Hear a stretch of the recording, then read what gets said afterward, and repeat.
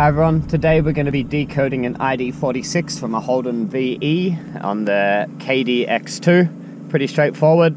You open the KD mobile application. I have mine right here.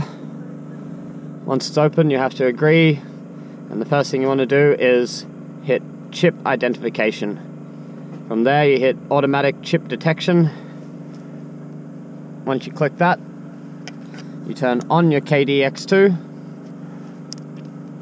You put your key inside your coil. Reading. Now says on the app the information from the actual transponder chip. The next thing you want to do is hit chip decode.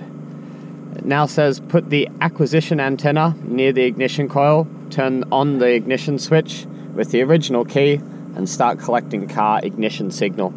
So pretty much all that's requesting is you use this antenna coil, put it near the ignition, and turn the key to the on position. Then goes to key DIY, and as you can see on the app, it says decoded successfully. It then requests that you put the original key back into the antenna coil. Put the original key into the antenna coil. It says running. It then says decrypted successfully and then it's ready to clone. So now we're just going to go grab an ID46 chip and clone it